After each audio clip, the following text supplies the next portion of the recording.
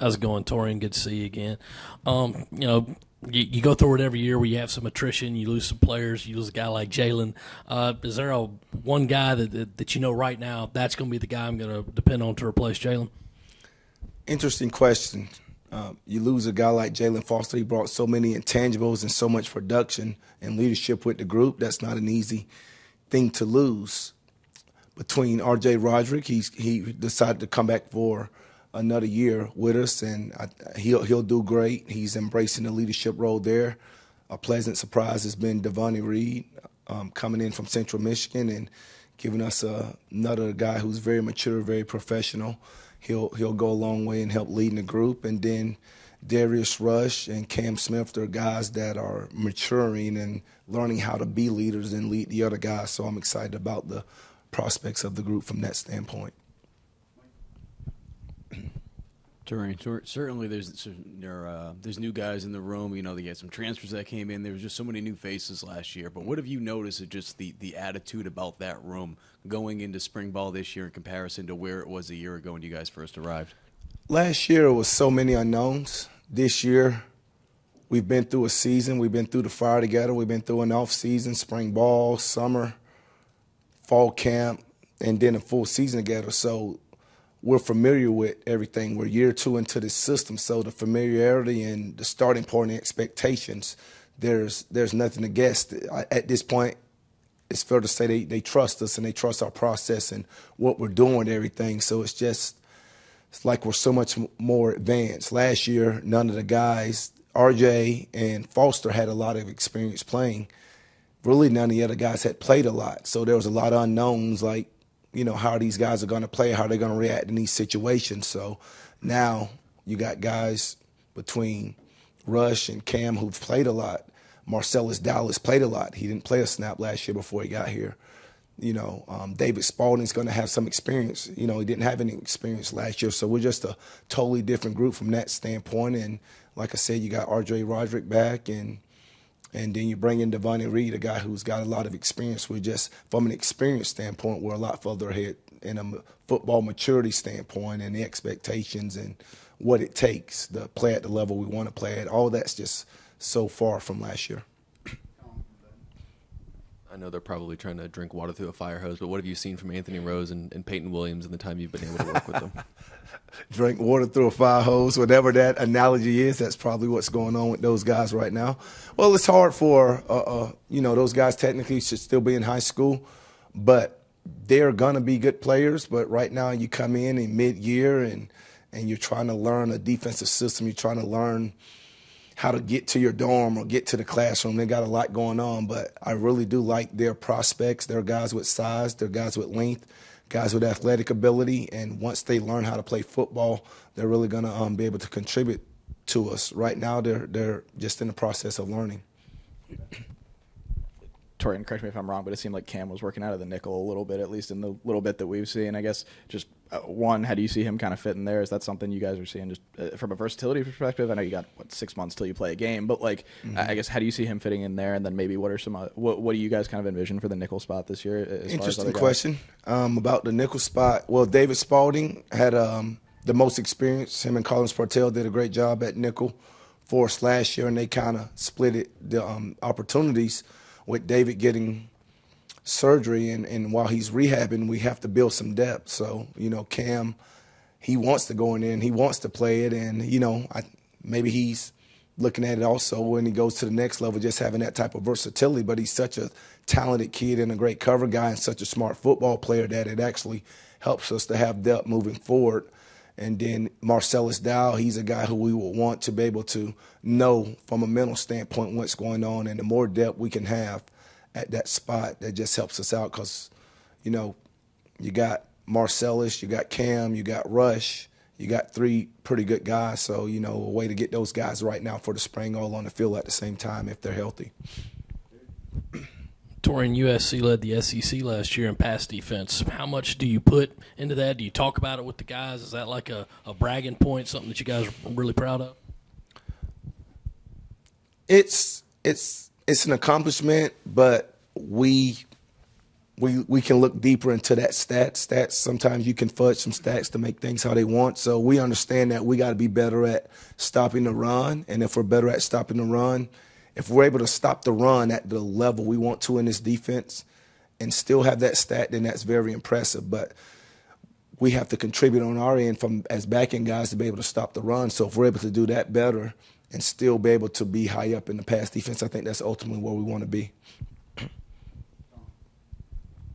Cam Smith obviously had some pretty good advanced metrics from last season in terms of coverage grade against. Just what have you seen jump wise from him um, from the end of last season to now, and what about his maybe mentality or, or, athletic ability gives him the chance to be a number one defensive back on an SEC team? I'm sorry. Um, you started with metrics, then you went yeah, to a couple things. So, okay. what about Cam Smith makes him a good cornerback and someone that you could rely on? Cam is a good cornerback. I mean, usually you're, you're very talented players. They have some God-given things that you can't teach. You know, Cam's got good height. He's got good speed. He's got a very good high football IQ. Um, but he loves to compete. He practices hard, and he w- legitimately wants to get better. A lot of times you get guys who have accomplished. He's become an All SEC defender who accomplished those type of things, and they may come through spring, and you got to kind of – hit some buttons on him to, the, to improve and want to get better. But I think he's just naturally wired to.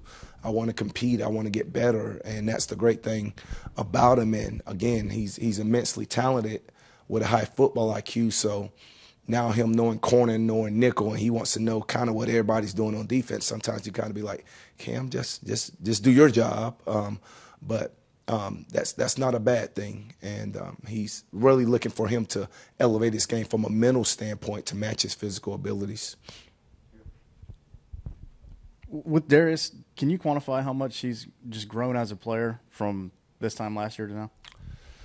You could really say that about um, a couple of those guys in that room. Um, like I said, a lot of them hadn't had a lot of experience, but Rush in particular, just from where he started, and you know, he's kind of finding his way and sorting his way through some things, and you kind of had to guide him through some things. And just to see his growth from last year, I thought was really remarkable. And like a, when, when you look at where he came from to where and how he ended the season, his confidence level is just great because he was able to be productive and make plays. It's one thing to go out there and hey, I'm confident, but if you don't make the plays or have the production to match it, um, it's sometimes hard to is it genuine or not to make sure it's genuine or not. So I'm just proud of how he progressed and how he's kind of bought ownership into continuing to want to get better.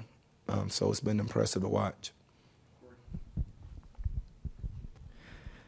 Torrian, with the with the question marks that you had going into uh, the secondary last year, I guess kind of take us into your your mindset a little bit.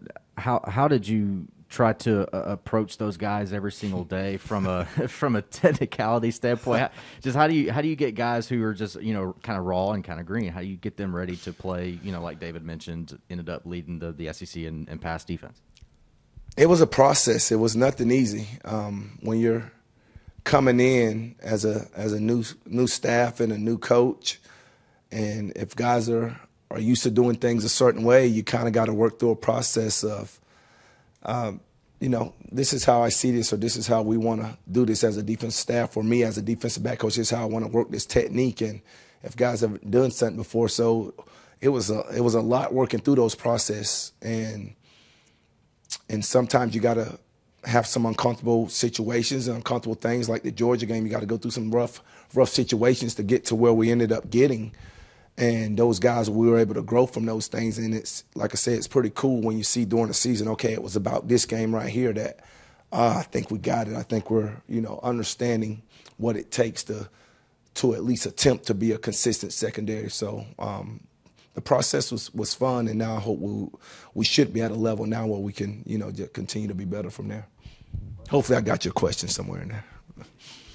All right Hey, Tori, I know you talked about um, Devonni and RJ at safety. Who are maybe some guys behind them as you try to build the depth at that spot that you're looking at that you either feel good about or you're saying, you know, maybe you want to step up at that spot, maybe? Well, you're as good as your depth. We were fortunate last year that RJ and Foster stayed healthy for most of the year because we didn't have great depth at the safety position. So a great priority right now is to see who can give us some depth. And right now, you got Tyrese Ross, who's into his second year, so we're hoping he can take a step. You got King Ford, who is in his second year of playing defense, and hopefully he can take a step. You got B.J. Gibson, guys of that nature. Um, you know, Joseph Burns. We need some of those guys to be able, someone to be able to step up and, and give us some support. And then you got to count on, on Peyton Williams, what's going to be his growth potential. Um, a guy like Rose, we started him off at safety. We're probably going to, we just got banked up right now at, at, at, the corner spot, so we may look at him at corner right now. But you know whether he's at corner or safety, and then you got to look at some of your your signees. But we have to find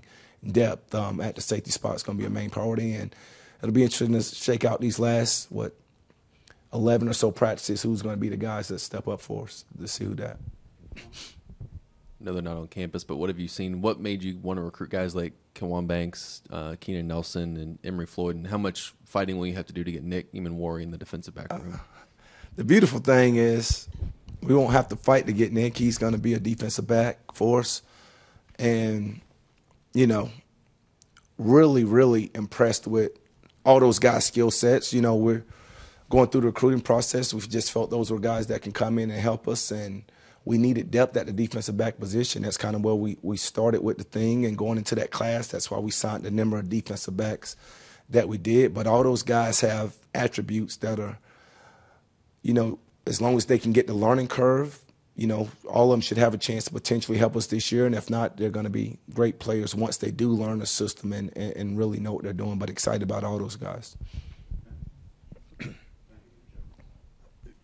Torrian, kind of what Colin and Wes were asking. I mean, obviously, you guys have like I think like six or seven guys in this class who are technically counted as safeties or listed as safeties. I mean, how much of it is just get those guys in camp and sort of figure out where you want to put them? I mean, is it like, you know, I mean, I know there are a lot of different body types and a little versatile, but like, I mean, how much? What's that like as a coach to have you know that many freshmen to just be sort of throw at the board and see what sticks a little bit? Well, um, it's interesting because you know it's hard in this conference to to count on freshmen coming in and, and, and wanting to depend on them. So that's why this spring is big for the guys that we have here. But it's also big right now with those guys not being here that, you know, if we're able to meet once a week or Zoom with them or something like that, that they're brought to speed and somewhat so they're not starting from fret, from scratch once they get here because we're gonna we're gonna all those names I named, we're, we're still got a lot of answers to who's going to be our, our depth. And, you know, we had a lot of guys, we had a lot of bodies, all those names you mentioned, all the names I mentioned earlier.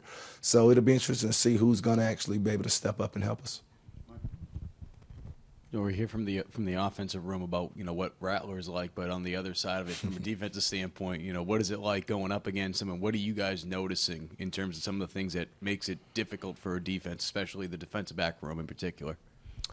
Well, he's got a he's played a lot of snaps. Um, obviously, he's got a lot of playing experience, and then he's got a really strong and accurate arm. That's one thing that that you see during these spring practices, and that's awesome. That's great because it's going to make us better as a as a defense. He'll make us better as an offense. So it's exciting to have that guy in, uh, in that room over there.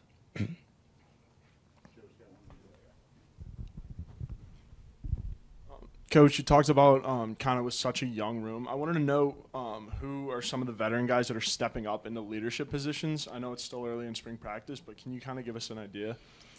Um, our, our, veteran guys are actually doing a, a, a, very good job. We were so inexperienced last year when you look at um, R.J. Roderick. He played a lot, but he was not necessarily um, the leader of the room. Foster was the leader of the room. He's kind of embracing that leadership role right now. Devonni Reed's played a lot. He's coming from Central Michigan, and he's he's a natural leader just the way he's approached it. He's a grown up in the room, so I like that about him. And between him and RJ, um, that's a sol- solid foundation. And then, like you say, Cam and Rush, they were very inexperienced guys, so they were just kind of finding their footing. And now they got a year under their belt. they've got success. So now, you know, Rush. You know, I, I hear him talking to the other guys. I hear Cam trying to he's sitting up and he's attentive in the in the meetings and you know he's asking these questions and you know so his his IQ is just they lead in their different ways but it's, it's a good core group that's leading to um, together so I'm excited about that which like I say we didn't have last year. Mm-hmm. Torrian, I'm curious. Did you have any opportunity to, to maybe go elsewhere in your career uh, over the off season? And and two, why was coming back, staying on Shane's staff, and being at South Carolina? Why was that the, the right decision for you? We've had success here this past year. Um, so, you know, to be honest, this is where I want to be. I guess to answer this question without getting into a lot of variables of things, um, I love working with Coach Beamer. I love working with Coach White. I love what we did and what we're doing in the direction that we're going. So um, it was a, it was easy, and um, you know, have a passion for being here as much as, eh, just like Coach Beamer. So um, no, it's, it's it's great, great. South Carolina's great spot to be right now. All right, thank you.